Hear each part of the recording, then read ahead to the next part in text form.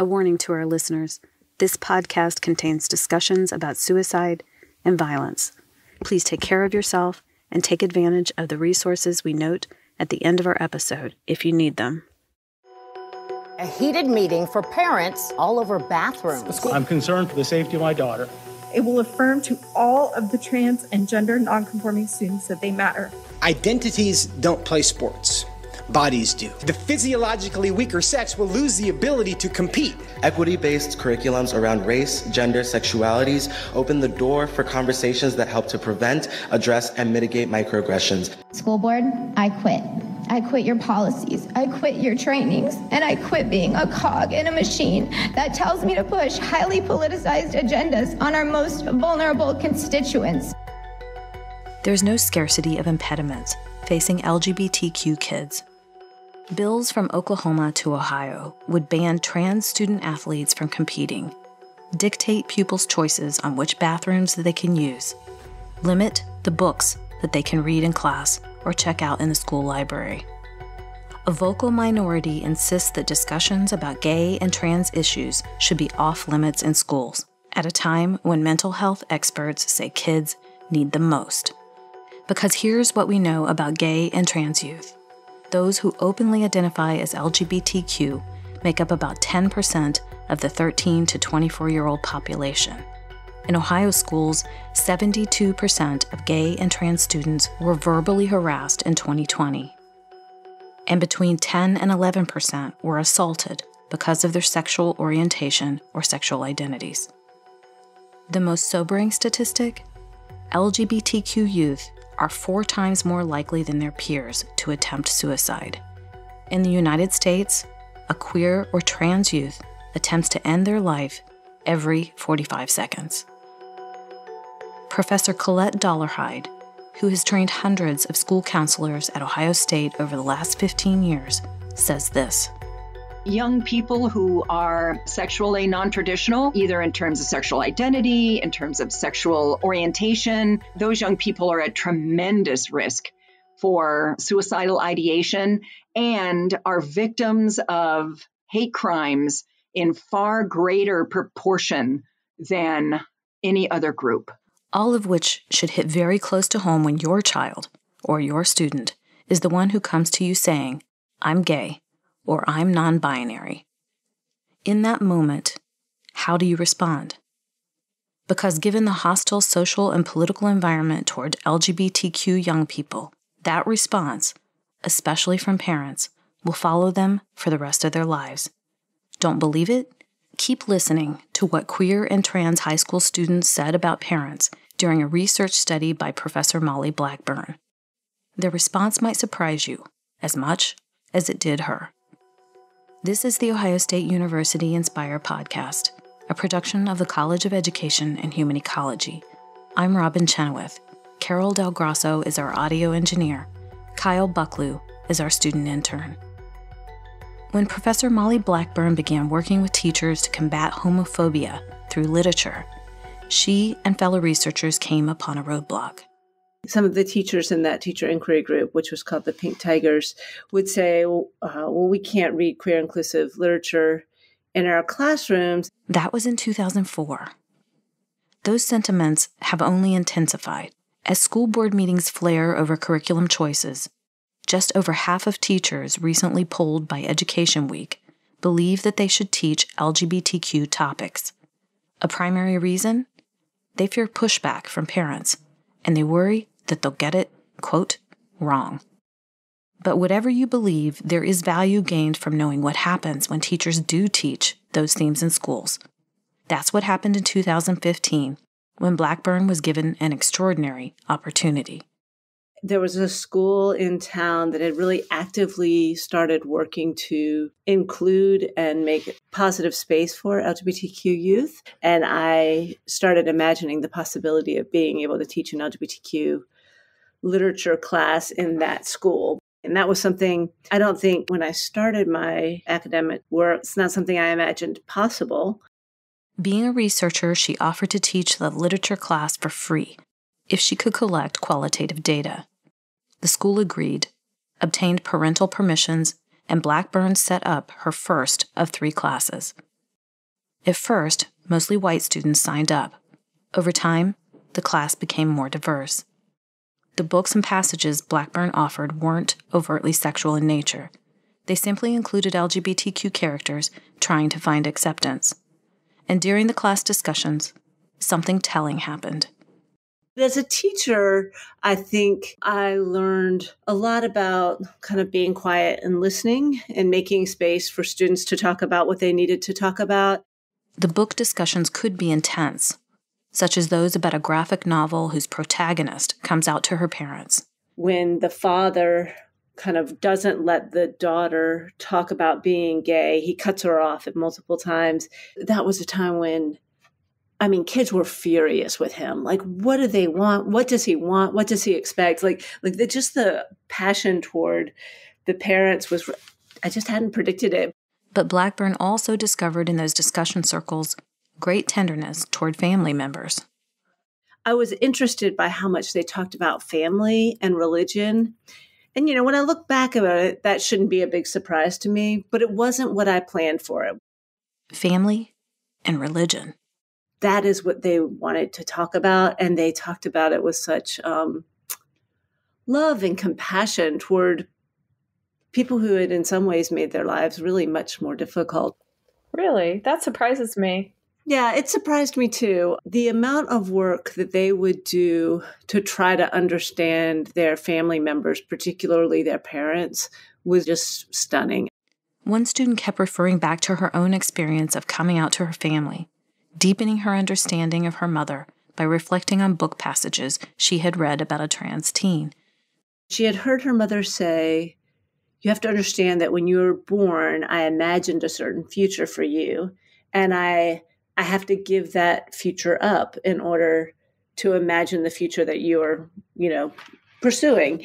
Um, and she was like, and so I, I love you, but it, but it's a shift for me. It's hard for me. I don't know what she said to her mom, but but in our class, she was very receptive to that argument. Not everyone was, but she was, and um, it helped her to understand the moms in the book. Like it seemed to be this back and forth where the kid could understand her mom better and then could understand the characters better. The passages she was reading helped heal the schism that coming out created between her and her mom. That's what Blackburn calls deeply ethical movement. Not ethical in a puritanical sense, but the notion of shifting one's understanding to encompass another person, even when that person had hurt them. Parents can make ethical movement too. If these observations don't already make it obvious, LGBTQ kids crave acceptance, especially from their parents. Though their conversations at home might have sounded very different, in the open and inclusive classroom setting, these youth disclosed their truest longing. They would identify characters and stories where the parents had really done right by their kid, and they would say, This is my favorite part of the book, even if it wasn't like an integral part of the storyline, but that was their favorite part of the book.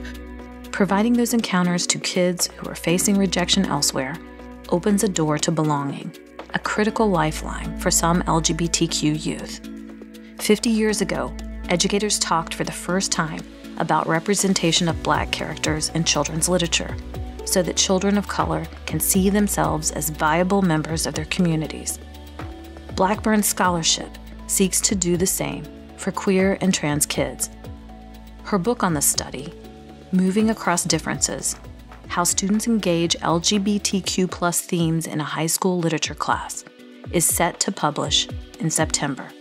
Blackburn's observation on LGBTQ youth and families perfectly align with what mental health and counseling experts know about belonging and acceptance.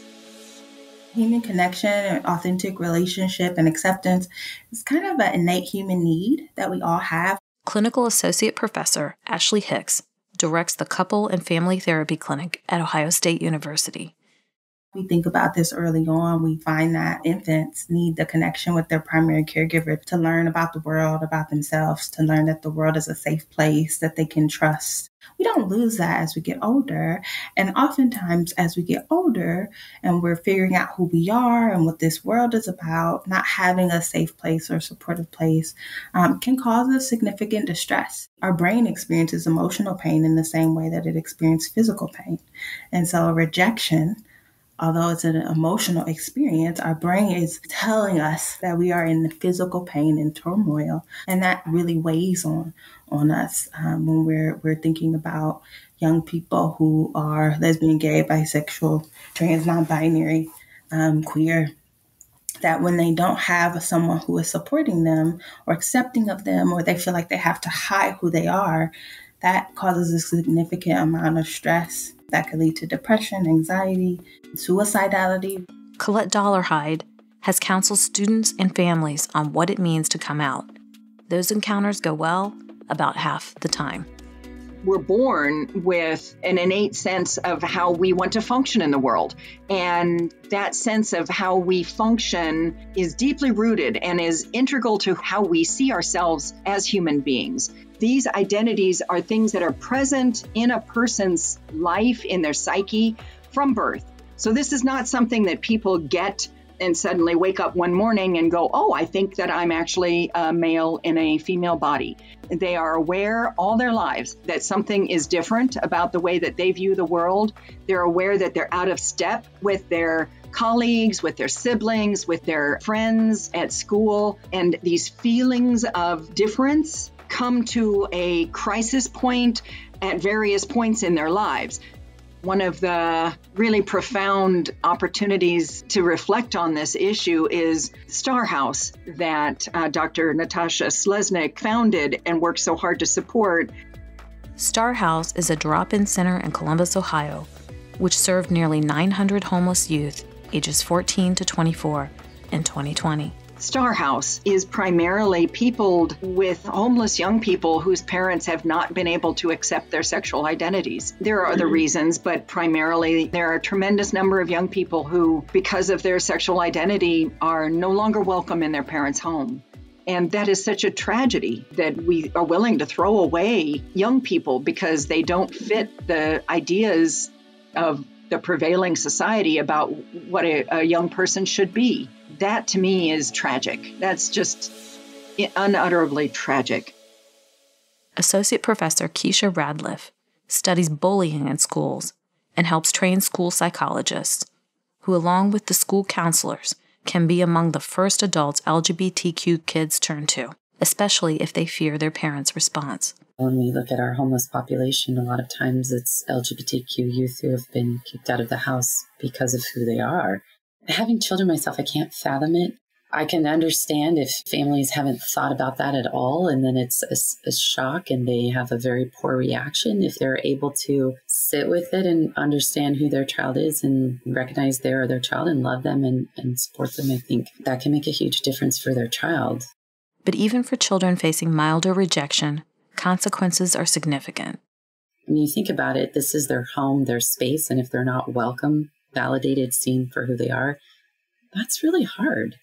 Where do you go? And then if school isn't a safe space, so if families can think about the bigger picture, do I truly love my child no matter who they are or for who they are, as they are? I think that's really critical.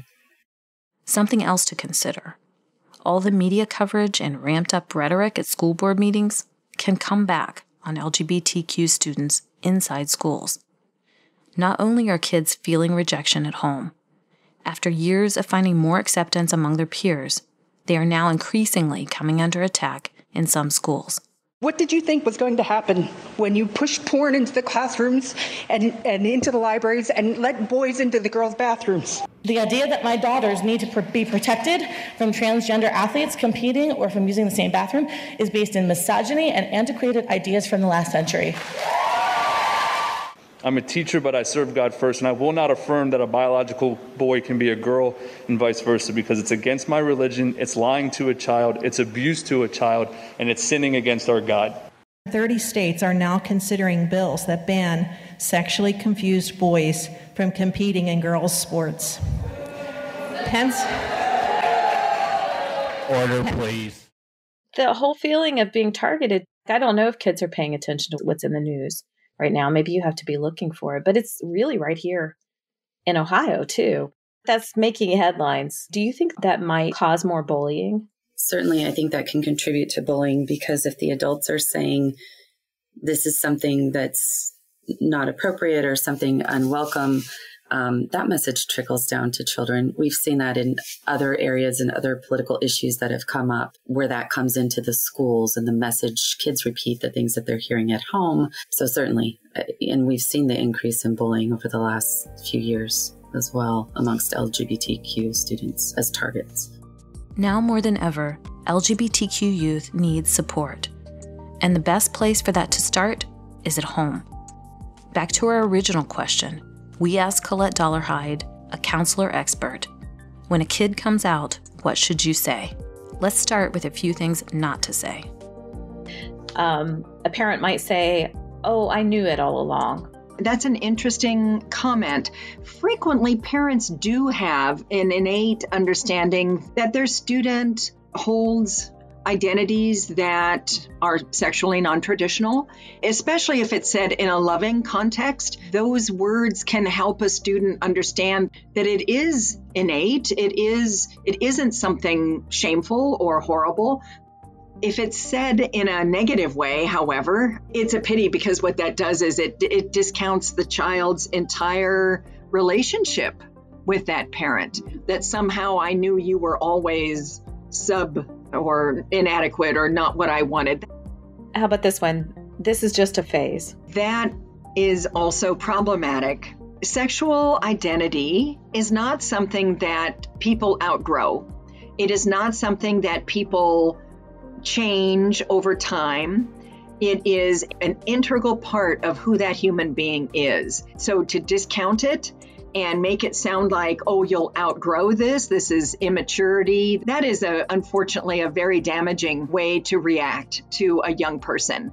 It's up to the adult to be able to listen and to be able to ask questions in order to understand what the motivation for the statement, where that's coming from, rather than just attributing it to, oh, you're immature, oh, you'll grow out of it, because that discounts that young person's identity. I know that sometimes parents find themselves religiously opposed to the news that their kids are giving them. So, how about God doesn't want you to be gay?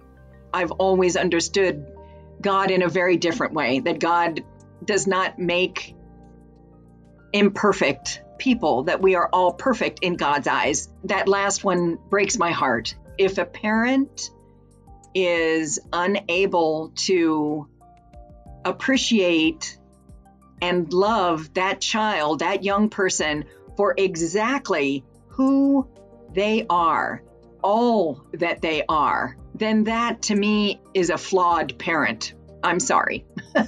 that to me is a flawed parent if that is the, the religious perspective that a parent holds, then that is very sad because that would suggest that that's a toxic relationship between that parent and that child. If I'm not okay who I am to someone that says they love me, then they can't love me. That isn't love, in my opinion.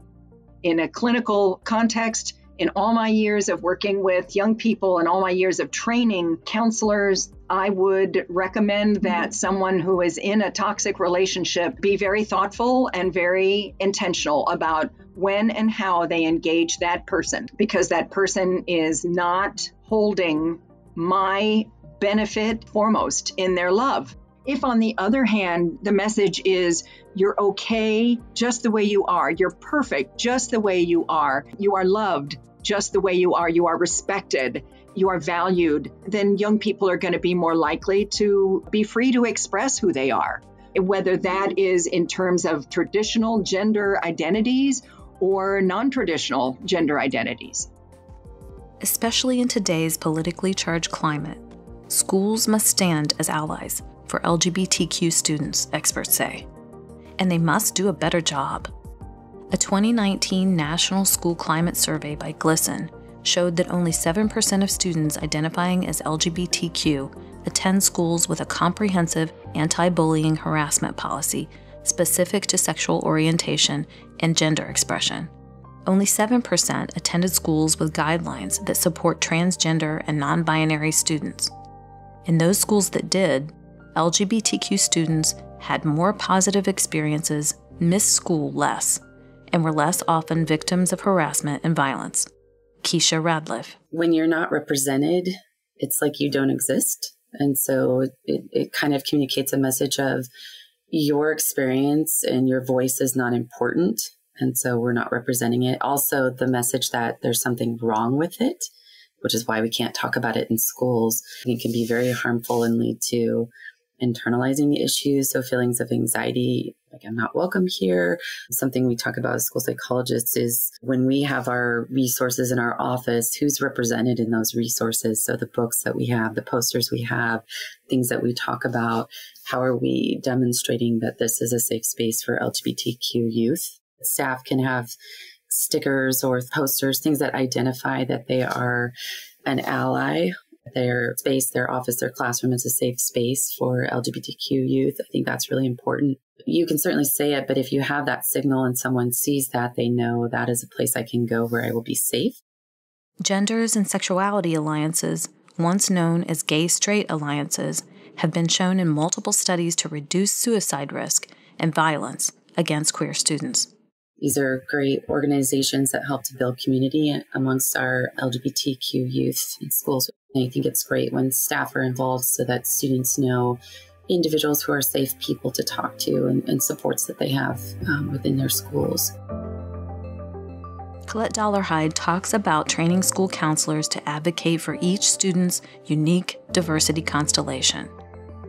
It's so important that the adults who surround our young people are understanding of LGBTQ plus issues and are able to understand that all of this is fluid, all of this is incredibly personal. It is a challenge for young people to feel comfortable to talk to someone about it, and especially to talk to adults who are in positions of authority or adults who are in positions of judgment. And teachers, counselors, parents certainly can send affirming messages and understanding messages about the variety of different ways that people encounter truth in their lives and give young people the opportunity to talk about these questions so that that pain and those internalized messages of inadequacy are not the source for suicidal activity. My granddaughter has come out as bisexual and she did this with a cake and said, This is my coming out day. And we had a party. We celebrated with her. I would encourage anyone who has someone come out to them that they express delight, that the person trusts them enough to be honest with them about who they are, and that in that conversation, they are able to say, you matter to me exactly as you are, all that you are, all that you'll ever be, all that you've ever been, that you are important and that this is a wonderful statement of your trust of me. The research, the counseling, all the interactions that LGBTQ kids have had over the years prove it. There is power in the response to kids coming out as LGBTQ. The question is will it be power that embraces them, loves them, hopes for them, or will it be power that pushes them away? For resources on how to become an ally or to speak to a counselor, visit the Trevor Project website at thetrevorproject.org. Also, the OSU Couple and Family Therapy Clinic will offer virtual six week LGBTQ family support groups beginning February 3rd. Email cftclinic at osu.edu or call 614 292 3671.